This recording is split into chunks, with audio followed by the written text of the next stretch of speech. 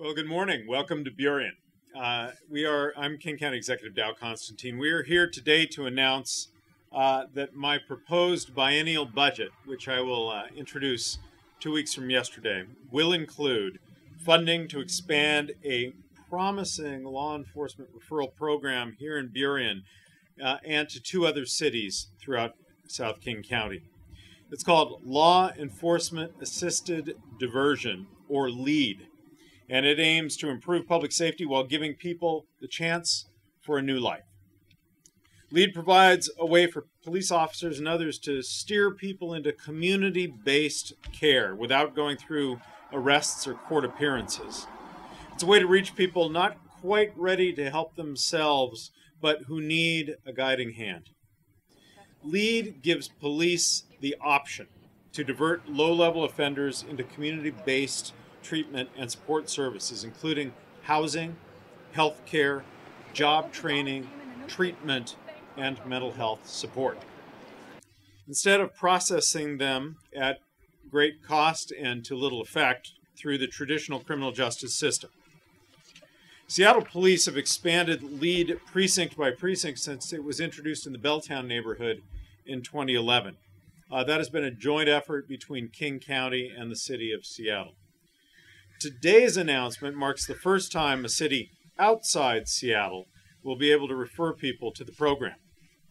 Uh, to the credit of Mayor Mata and Councilmember Marks, they have recognized that LEAD has the potential to change lives, and I look forward to the Burien Council and the community determining how LEAD can meet Burien's unique needs.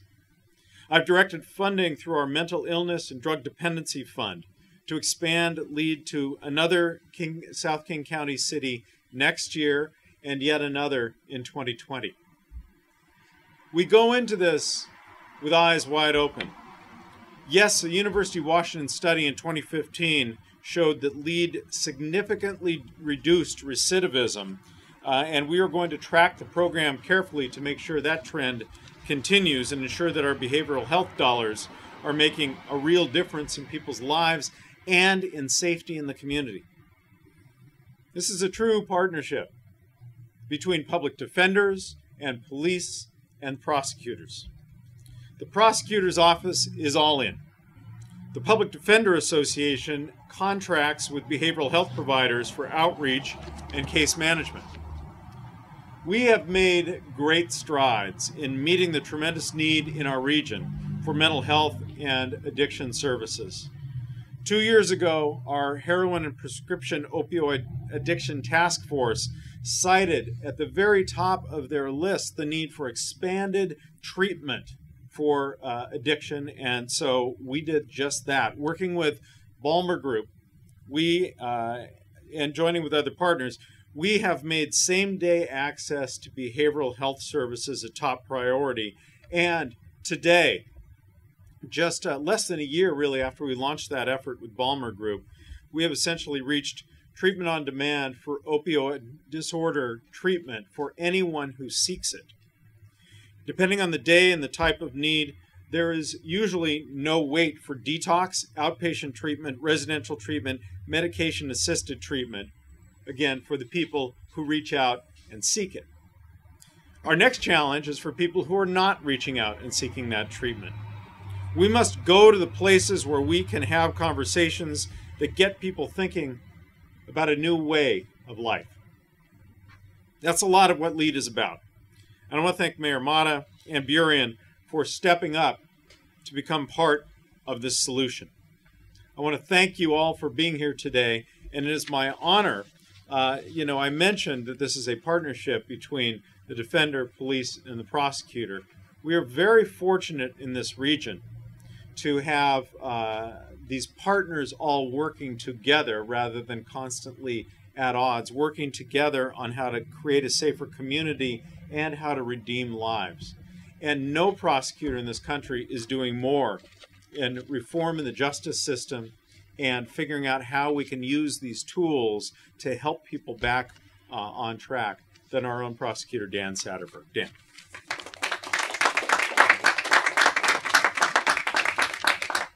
Thank you. And I want to commend the uh, executive and the county council and our city, our municipal partners, and all the partners who've made LEAD uh, work. It's a big day that we're here uh, standing in Burien, getting ready to take LEAD to scale. Because for the last seven years, it has proven to us and to the nation that it is the better outcome when it comes to dealing with people with drug addiction. I commend the executive for his vision to make a community based care infrastructure throughout the entire county of King so that every police officer one day will be able to have that same option that the Seattle police have, which is to call for help instead of take to someone to jail. And concurrently, because I so believe that lead is the better outcome, I'm announcing today that uh, in the King County Prosecutor's Office that we will no longer routinely file cases of possession of less than one gram of drugs into court because, quite frankly, it doesn't work. And we found something that works much better. That's about 1,000 cases a year that today go into the King County District Courts. Uh, and at the end of that process, which I will describe later to you, uh, at the end of the process, there is a gross misdemeanor conviction, and that's about all. What lead model uh, offers is a new approach. It's an approach that offers help, not handcuffs. It's an approach that offers connections instead of convictions. And it's an approach that offers harm reduction instead of aimless due process.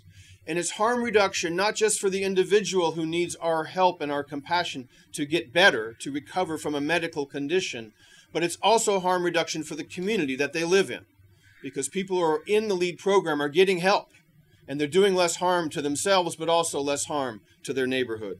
We know this approach works because we've been doing it for the last seven years.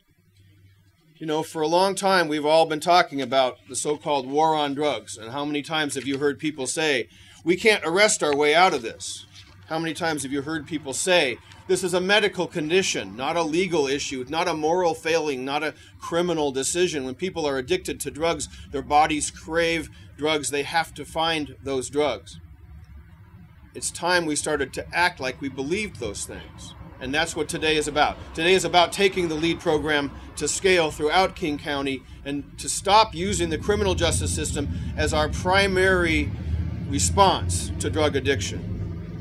Now, most of the cases that we file in King County uh, for drug cases are under one gram. Actually, most of them are actually uh, about one tenth of a gram or even less. What we're talking about, just to be clear, is not people who are drug dealers. We're talking about people who are addicted to small amounts of drugs. And the uh, approach that we've taken over the years, in the last 10 years, is to put those cases, instead of into felony court, although it's technically a felony, we're putting them instead into the district court in a program we call the expedited program. Although there's nothing fast about the expedited program, we found out that on average it takes about a year for those cases to resolve because it, since it's no one's priority, the cases come to us about three to four months after the arrest. They're filed three to four months later. Then they go into court, and a summons is sent to that person's last known address. Well, by then, person who's got a daily drug habit probably is no longer at that address. And so an arrest warrant issues. Turns out in those thousand cases that go through this process every single year, 1.4 arrest warrants per case are issued. So more than one arrest warrant, which means a judge has ordered the police, when they find this person, to arrest them and take them to jail. That's an incredible use of our resources. In fact, an estimated 15,000 jail days a year are consumed by these 1,000 cases. So, an average person who is being charged in the district court for possessing a tiny amount of drugs uh, is going to spend, on average, two weeks in jail.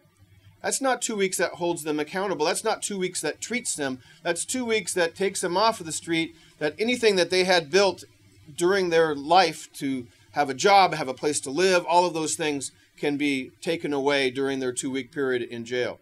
And then finally, at the very end of that process, they get a gross misdemeanor conviction. There's never an offer of help because our courts are not set up to help people with drug addiction. We have a little a sheet that compares the current model, the court based due process model, with the lead model. In the current model, it takes a year to get accountability. At the end of that year, there is no offer of treatment. In the lead model, within a day, within an hour of the arrest, there can be a connection made between the person who's arrested and a case manager who begins to work with them on what their needs are right then and there. And we have found, and it's no surprise, that when you try to help people, that your outcomes are way better than when you just try to punish people. And that's what this is all about. We still have a program in, in, in King County Superior Court, the drug court program, which I continue to support. It has a capacity of 350 people. And the people in that program are doing well. It's a well funded program and it's successful. But we know that the drug problem in our community vastly exceeds 350 people. What the LEAD program can do as it begins to reach out to the far corners of King County is to offer the police officers in that jurisdiction an extra tool for their tool belt.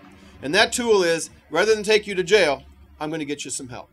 And we know that that works way, way better. So it is time to take it to scale. I'm excited that we're going to start doing uh, that very soon here in the city of Burien, and we'll be back to answer your questions as we go along. But right now, I want to introduce the Honorable Jimmy Mata, the mayor of Burien.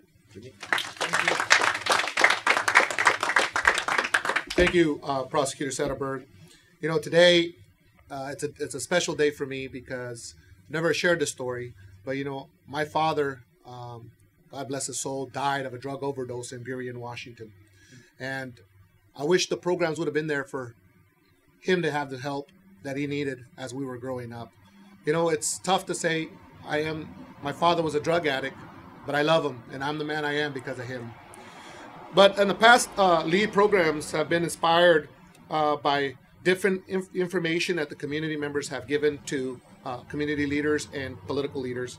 And Burien is no different. You know, I'm looking forward with the council and the staff give, to give an opportunity to community members of what kind of program we're going to design for Burien specifically. Uh, we believe that will benefit from the resources that are going to be allocated to Burien because we have a lot of challenges in our community. A lot of children that their parents are having to struggle with drug addiction. Uh, but I'm looking forward to having that discussion with my fellow council members to see what makes sense in our community members. And I want to thank the staff for the work they've done. And again, very, very grateful that uh, this is being announced in Burien and that uh, you're giving money to Burien to help deal with some of the challenges we have in our city. Thank you very much. And with that, I want to introduce uh, my fellow council member, uh, Crystal Marks, uh, who's doing a great job and actually champion of the LEAD program. Thank you. Good afternoon. The LEAD program is something that I looked into when I was running for council this last August through November. Something that I found to be a way for the community to give input to the services that they wanted to see within their own community and having that community drive behind a service, I think, is what will make it more, more of an impact. I'm grateful for staff for putting together the framework for strengthening families that the council approved back in early August. The LEAD program, as we tailor it for Burien's needs, would fit into that very well and has more funding sources to come to it that I'm really excited about and seeing our community access. I'm grateful for staff for all the work that they've put in on this, um, especially that we as a council will have an opportunity to talk about this program and the public will be able to attend and give their feedback as well.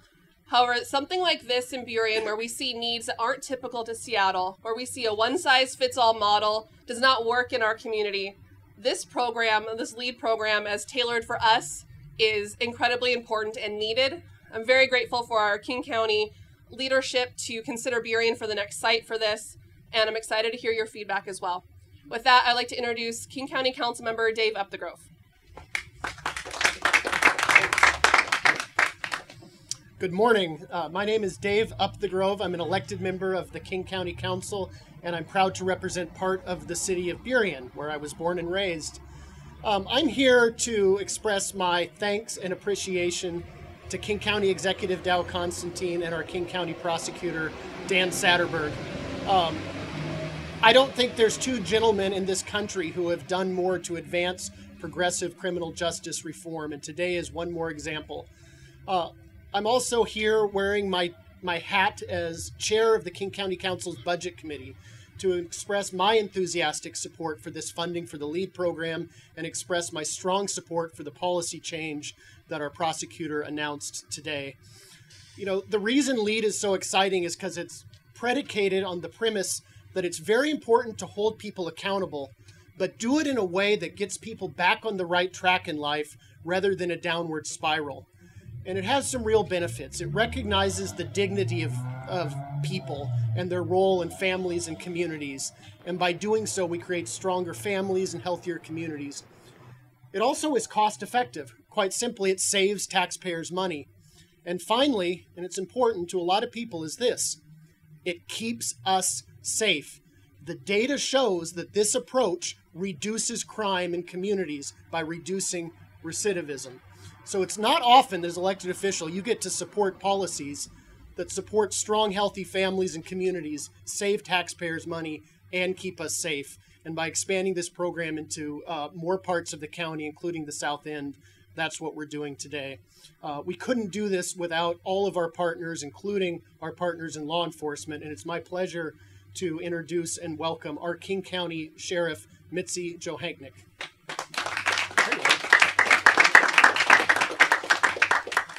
Good morning.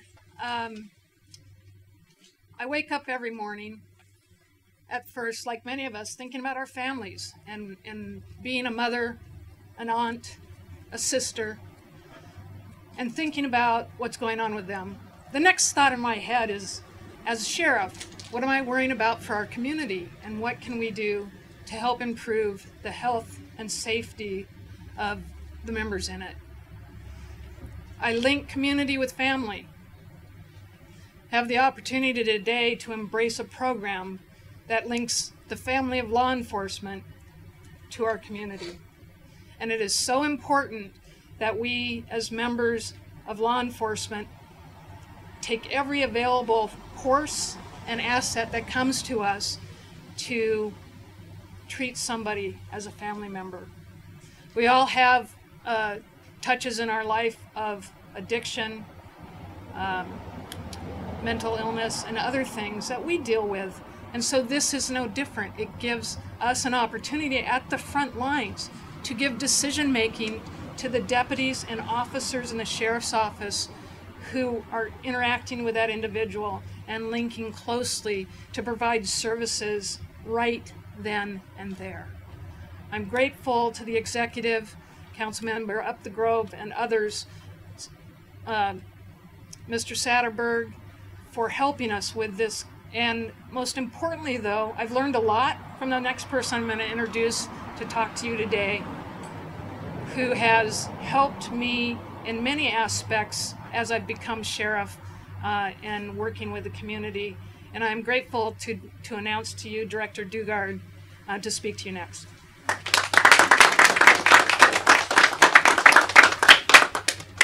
Good morning. My name is Lisa Daugaard. I'm the director of the Public Defender Association. We're privileged to be the project management team for LEAD, um, which was born in Seattle King County in 2011 and at this juncture um, has been replicated all around the country. I call that to your attention because the point that Mayor Amata made earlier and uh, Councilmember Marks um, is really important. LEAD is a methodology for responding effectively to law violations that occur because of behavioral health conditions and extreme poverty. The way in which that methodology works is adjusted and adapted to each community's needs.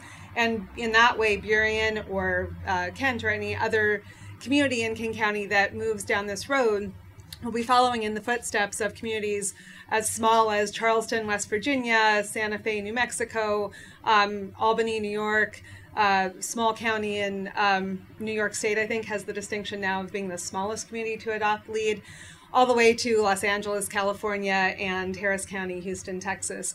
So obviously, those are very diverse communities with a um, wide assortment of needs, but what they have in common um, is a couple of uh, is recognizing a couple of truths. One, um, the problems that arise, law violation and behavior problems that arise due to unmet behavioral health needs and extreme poverty are not minor. They are serious. They are serious problems for individuals and serious problems for communities. And two, they are so serious that they deserve a meaningful response. And the several decade attempt to meet that need through the criminal justice system has been an abject failure. So all of those communities are groping toward we we've heard and understand that we can't arrest our way out of this problem but that can't be the end of the conversation what are we going to do instead i just need to take a moment i want to acknowledge a few folks and then introduce um, some really special speakers to wrap us up here um, I want to acknowledge that we do work in support of um, efforts to implement LEAD all around the country. Have an amazing team here that does that technical support work. Nowhere in this country, however, is there a constellation of elected leaders as visionary and courageous and committed to actually solving these kind of problems as the folks arrayed behind me. Um, and this is elected officials, this is law enforcement leaders, this is um, uh, line officers and um, neighborhood leaders who have really stepped forward into the challenge of we want to take it seriously, we want to address root causes, we want better outcomes, and we understand we have to commit to a paradigm shift. We cannot go backwards. So, um, just want to really call out um, with great appreciation the remarkable leadership of the men and women standing behind me. Similarly, um, LEAD would never have been a thing um, that anybody replicated or um, proposed to take to scale, but for the remarkable willingness of law enforcement officers to work in an entirely different um, paradigm than the job that had been given them for many years. They have more than responded to that invitation, um, have proven to be incredible partners. Um, and then the other half of that, uh, I want to call out a, a, few people who are standing here, um, is the incredible case managers who are their guerrilla case managers. They are not office based, they go out, they find people where they're at, both psychologically and physically they're entirely result oriented. They keep going until the situation gets better. And I do want to call out that they're doing that for remarkably low wages in the um, uh, very hot economy that we have in King County. These people are um, heroic in their in their commitment to this work. Um, symbolic of that, uh, so lead works by persistence and staying with a person and their actual situation and addressing their actual needs until things get better. That can take a minute honestly. So it's not transactional. It's a matter of months and sometimes years before that really pays off. But at the end of that road what officers have found is that people they expected to see die on the street and never um, be in a better position and never be able to uh, really shift their behavior have um, been able to step into an entirely different um, uh, situation and um, chance at a meaningful life. One of those people um, is here with us today, Johnny Bousquet, and I want to introduce Johnny, um, who's incredibly courageous. He's going to explain how this has worked for him and with him, who I am going to call up despite that he's wearing a Cal jersey, which I'm not sure what would have led to that decision. But anyway, is his remarkable um, case manager, Steve Bass, and we'll let them close it out. Thank you. Hi, my name is Johnny Bousquet. Um, first of all, I just wanted to say, um, yeah, they're talking about all this good stuff, but behind that stuff, there's a person. Yeah, lead reduces recidiv- recidivism, however you say that. Yeah, lead will uh, meet you where you're at, but not only does lead change lives, lead saves lives. I'm, I'm alive because of this guy right here, because of the people that are that are getting paid those remarkably low wages. Um, I don't think they do this for the money. They do this because something wakes them up in the middle of the night, and it's they're they're angels. They really are. I wouldn't. I really wouldn't be here. I can't emphasize that point strongly enough. I wouldn't be here if it wasn't for them. I was out on the streets. I used to be somebody before I was a drug addict, and uh, because of them, I'm somebody again. You know, when I didn't believe in myself, they believed in me. You know, they came to, to hospitals to to rehab, to jail, bought me books, magazines, took me to appointments to get medicine, cried with me, prayed with me, all that stuff, you know. Um, I, I, I just can't say strongly enough that I wouldn't be here if it wasn't for them. Um, they, when I was doing drugs, they said, "How can we make your life safer? How, how I noticed that you're miserable. How, how can we give you some kind of satisfaction? What can we do for you?" When everybody else forgot about me when people would walk by me and look at me like I didn't deserve to have a heartbeat. These people nurtured me and loved me, and they didn't just do it on Monday through Friday. They come to the hospital on Saturdays and Sundays. When I tried to kill myself, they they they told me they would be devastated if I died. You know, when I didn't want to live, they wanted me to live, and uh, they're helping me get back in contact with my kids. They're making me feel like I'm worth that. Um, I, I can't say enough on, on what this does, and without the funding, they can't do that. They they can't save lives, and by saving my life, other people that are in the situation that I was in are able to see me and be inspired. I have people come up to me all the time and say, "Man, because you're doing it, I feel like I can do it." You know, and and not everybody's going to be abstinent right away and all of that stuff, and they understand that, and they that's why they meet you where you're at. And instead of being in and out of jail, I'm in and out of appointments nowadays. You know, tomorrow I'm, I'm probably going to get hired for a new job guess who's taking me to my job interview you know guess who bought me this shirt and tie you know I, I just wouldn't be able to do it without them and i'm just really thankful this, this steve right here Steve.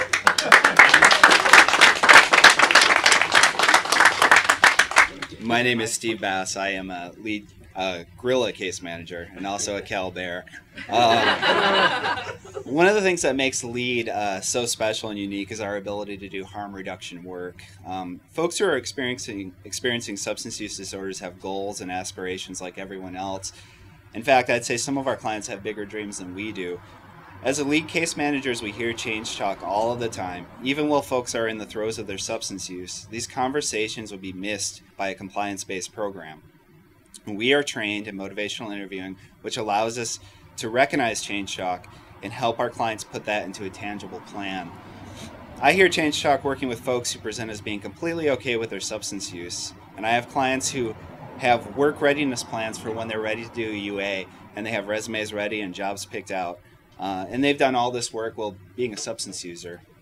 Well, jo- while Johnny was struggling with his substance use, he was already working with an organization to help him get visitation rights for his son. In fact, we had legal documents for visitation ready to file for when he took care of his warrants. During the time Johnny would not have been welcome at compliance based programs, he received a housing voucher, he became a client at Community Psychiatric, he got his food handler's card, and he performed at Columbia City's Beat Walk because he's an amazing musician. We were able to work on Johnny's anxiety in this time too. Johnny now carries a notebook around with him where he writes down his fears and his goals, and he feels a sense of mastery when he can cross those out. Um, Johnny was a- able to identify his anxiety as a trigger for his substance use, which has been really huge moving forward in his recovery. During harm reduction work allows us to be there on the journey with our clients. I was with Johnny when he was given $30,000 from the Sound Transit Authority to relocate um, because of the location of his old apartment. And he blew $30,000 in three months on his addiction. Um, and being there with him um, and having those conversations during that time have been informative in Johnny's planning going forward. Like he said, he's got a job interview tomorrow, and now I'm able to talk to him about how he's going to plan for that income moving forward because I was there with him when he lost that $30,000. Just at a bare minimum, what compliance based models miss that lead is so good at is the opportunity to build relationships with clients wherever they are on their journey. I'd say another great thing about our harm reduction approach is that it allows us to see the stages of change and progress where other programs do not. I've had clients who are mixing opioids and benzos and barely responsive with upper respiratory slowdown and extremely slow breathing. I feel much safer having them in our office next to a nursing staff um, who can help. Our on site doctor recently started a Hep C treatment through our office. Now I have a client who is planning on switching to smoking rather than using IV needles for drug use after the Hep C treatment. And to us, that's a big deal. I have other clients who are still using substances but not using heroin, and they're on medicated assistant treatment. And that gives them more time to go out and work on their goals because they're not trying to commit crimes and do the things it takes to get more heroin. So I think that's a big deal. Uh, and I'm glad to be here and I'm glad to see LEAD expanding. Thank you for your time. And let me, in closing, reiterate that um, we're very fortunate to be in a place where, although each of these players plays their assigned role well the defender, the prosecutor, the police, the courts we have more than that. We are united in a vision of a community where all people will have the opportunity to thrive. And in doing so, where the entire community will be made safer and more prosperous. And we are doing, as we're able to see them, the things that move us closer to that shared vision. Thank you for being with us here today.